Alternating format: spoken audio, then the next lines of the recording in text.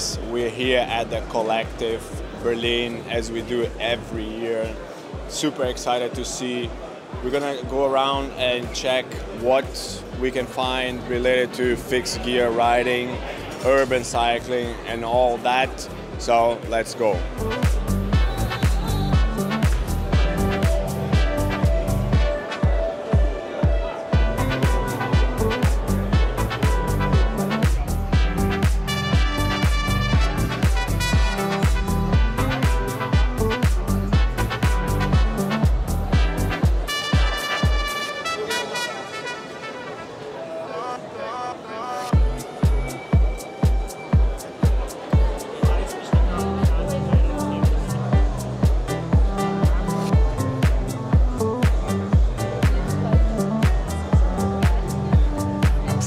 Here with Vapour. I've been following the Instagram for a little while, checking the progress, checking the tube build and everything. Looks amazing. Uh, let's hear a bit about the bike, uh, what you do, and uh, anything we can know. Sure. So this bike, um, I make the frame. Uh, as you might have seen, it uh, uses uh, filament wound tubes and 3D printer molded slugs. So each one is custom. This specific model is called Spirit, like the B2 Spirit and Spirit of the Ride, hopefully. Um, yeah, it's track frame. I think the, there's a normal version which is about 850 grams and a super light version which is 715 grams if you want a, a weight weenie build. Wow. Uh, yeah, each one is custom made for each customer, so they're very unique. And yeah, it's uh, very fun to ride, especially like a city like Berlin. Uh-huh. So uh, I've seen the the tube building process. How long has it been like uh, from the idea to first prototypes to this final build now? So it took, um, I would say, around 10 years. Wow. Because uh, when the 3D printing kind of became more available, more openly wide, started experimenting with making these things and uh, making the connections and seeing they're strong enough. So it took uh, quite a while to develop the first frames. You see like one of the prototypes from a few years ago here. And then obviously it took like a lot of time to test them all. And yeah, only I think end of last year we started actually making our own tubes. So more control of um, strength and stiffness. So each one can be tuned to be more light, more stiff, Uh-huh, more strong, yeah, yeah. whatever. And yeah, now it's uh, let's say open to the public. So if somebody wants one, they can have one. Nice. So of course you're gonna see the links and the address, everything on the description. Check it out. Amazing and in person even more incredible than on Instagram. But thank you very much and good luck. Pleasure. Thank you.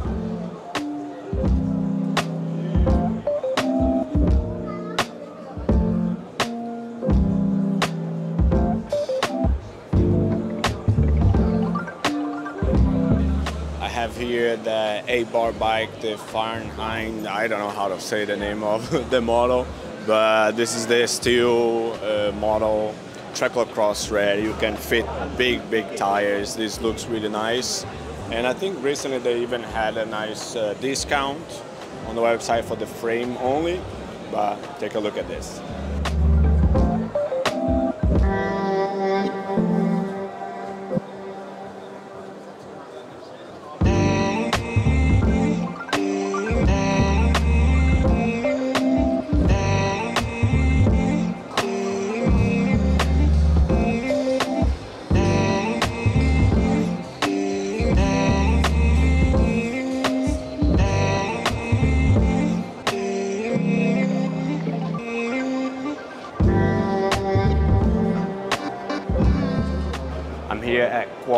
Cycling. Uh, they have amazing cycling shoes, road shoes, off-road, but there's also some urban solution. There's two models specifically that I've been looking online and I wanted to check. It's the Weekend and the Chelsea. Really cool looking casual cycling shoes with SPD, of course. Uh, they actually feel very light in the hand. I put this on, feels very, very comfortable. Good reflective design, beautiful color with some pink details here as well. A bit of reflective. Look very nice. Would love to see more people riding fixed with this as well.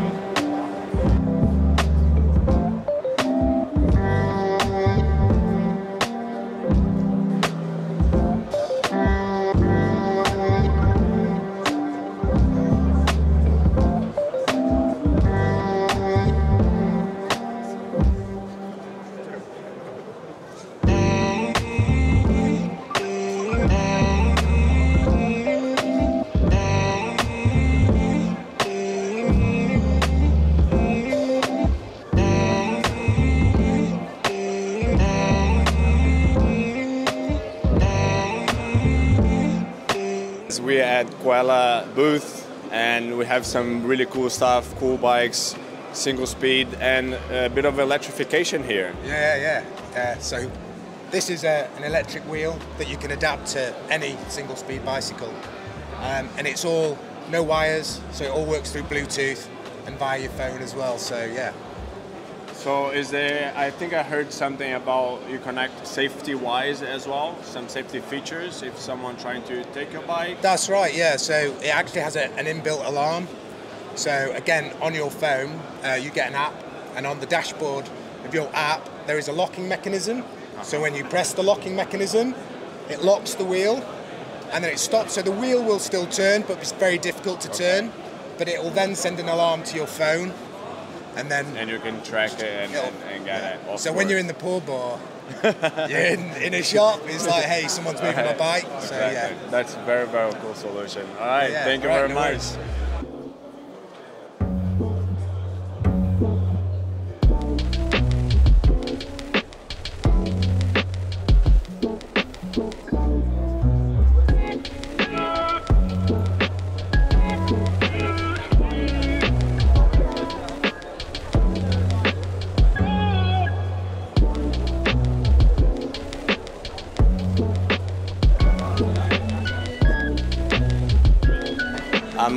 Found here this very cool brand capsule that has very nice casual cycling gear. Would like to know a little bit more about it. Yeah, yeah, hey, welcome at Capsule. My name is Thomas. We've just launched yesterday. It's the first time when we present our capsule collection here. This is also where the word uh, capsule came from. So our concept is that we are not dedicated only to performance stuff or to casual or lifestyle stuff. We are just in between. So as you see, our bags are very versatile, um, and our hero product is this beautiful bike bag. Uh, you can use it on the handlebar, you can use it on the saddle, you can also put it on the top tube, down on the top tube, and you can just grab it on like, uh, yeah, not not here at me, uh, but on the mannequin uh, as a yeah as a casual bag for just walk into a supermarket or somewhere else. I see, I see. Well, it looks very good. You said it's the first time Yeah. you just inaugurated. Is the launching of it? Yeah. Nice. Yeah. It's capsule.cc and the web shop will go live next week. Okay. Because we've decided first to talk to the visitors here and to grab the feedback for the That is products. amazing. And these products are made of 100% recycled materials, That's so all recycled contents. And our main idea is also to um, to go with this reflective stripe on any product. That is this great. is something uh, for security, for safety when you drive in the city. Always, Yeah. always. That's very good. All right, thank you very much and good luck. Yeah, have fun here at the Thank Kolektif. Well,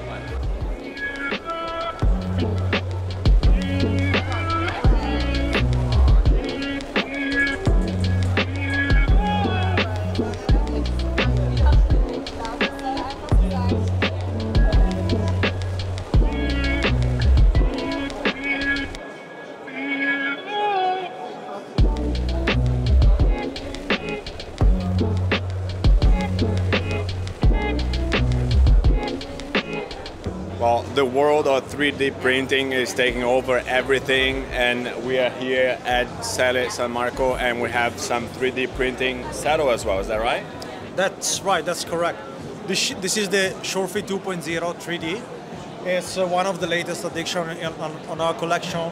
We launched this beauty a few months ago, like last July, more precisely. Um, this is our best-in-class saddle, the Shortfit 2.0. Now further enhanced with the 3D printed cover. Mm-hmm. This is a 3D printing. This is a cover completely printed in Italy, and the saddle itself is all made in Italy with the carbon technology, the carbon DLS, the digital light synthesis of carbon. We design our own pattern, and the whole structure is designed by us, of course, at Selle San Marco. And we managed to adapt the 3D printed technology, technology to the saddle, and now vice versa. This is a great advantage because we didn't it didn't affect uh, negatively Okay. the shape of the saddle. So the shell, the, the all other components are exactly the, the ones that we have always used for Shortfit 2.0. One of the most advantages of the 3D printing uh, uh, manufacturing, the 3D printing cover on saddle business, is that you, you can have differentiated cushioning zones all, al- all along the platform, all along the, the area uh, of the saddle. So it's more stiff, like under the ischial bone area where you need Yeah. more support from your saddle while riding, of course. And it's softer on the lateral part, on the soft tissue parts, and on the back of the saddle. So it gives you constant and adaptive com- comfort during, during the ride. And this saddle is meant to be used mainly on uh, performance road cycling, but its nature, the nature of this uh, cover makes it very comfortable. Also on tough terrain for gravel cycling, for example, or thinking for that. off-road cycling. Yeah. That is very cool. It looks amazing. It is, looks yes. amazing. nice. Thank you very much. Thank you, Have thank you. Ciao, bye bye.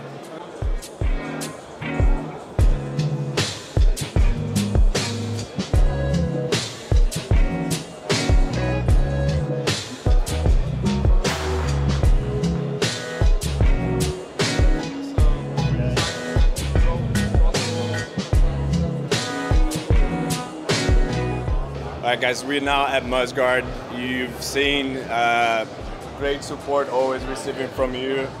Love all the products, and we have some new stuff now. Yeah, so we're moving away from just doing mudguards into like a broader field of bike accessories. And uh, what we did is a harness, like a handlebar harness to put the dry bag in. And just approach the whole thing uh, like as we did the mudguards, just make it simpler, lighter, better in any way possible. Absolutely. I can show you how it works if you Yes, want to. I would like to see it.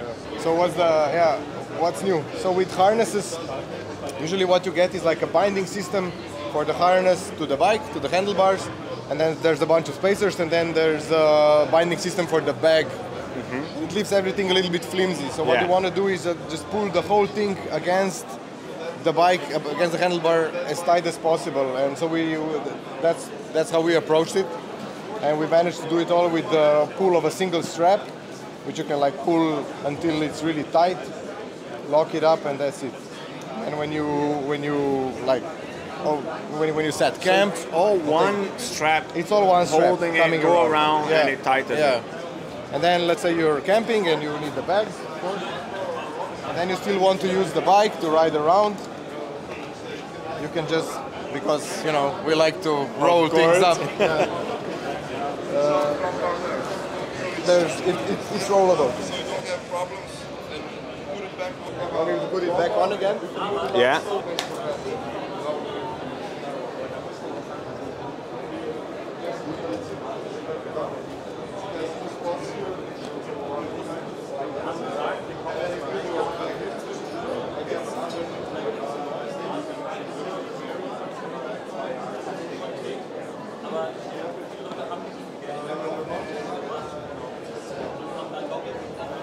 Perfect. Thank you.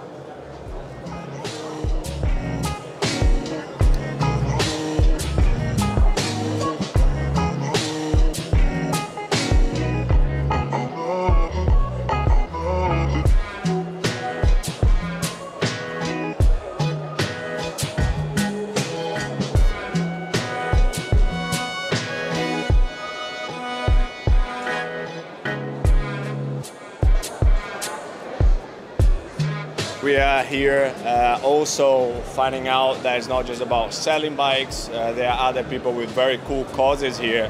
Tell me a bit.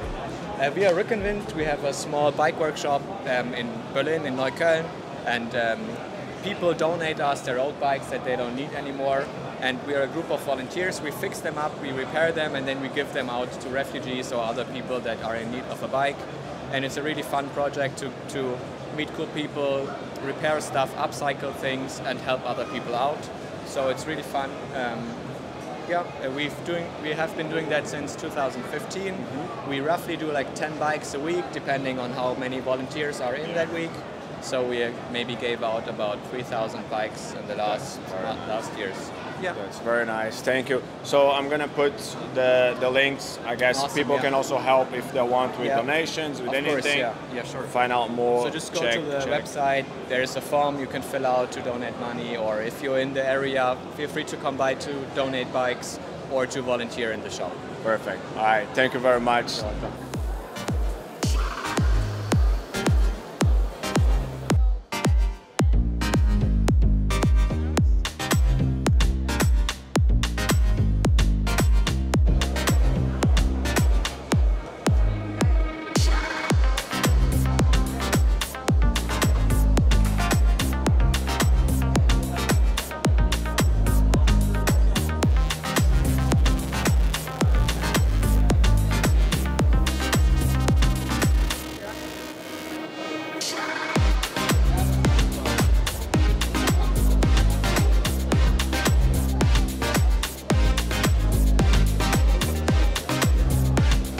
We are at the Aevor booth. Uh, you guys have seen it on the vlogs many times. Uh, ride with Aevor backpack. Love the handlebar bag.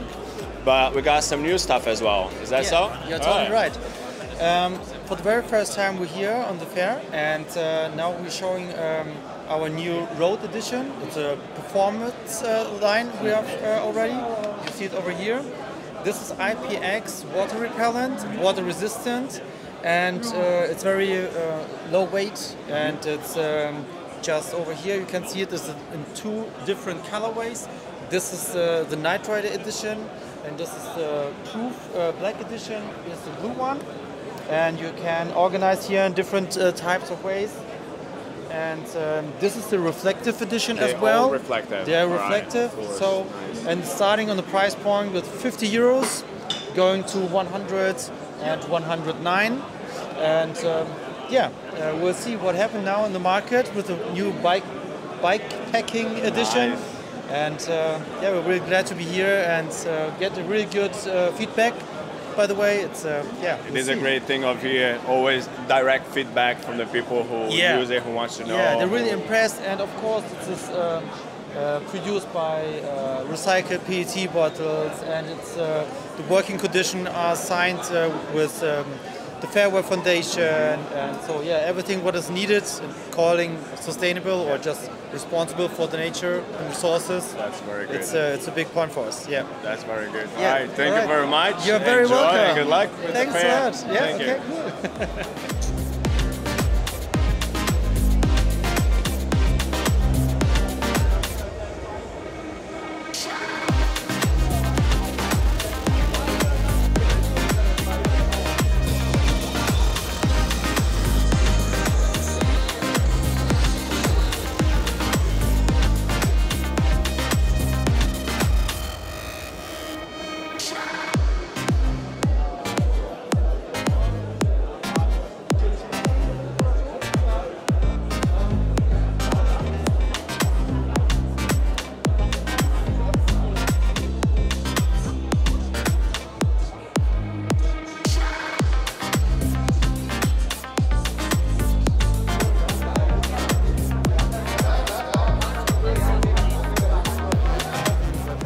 So that's it for the bike fair.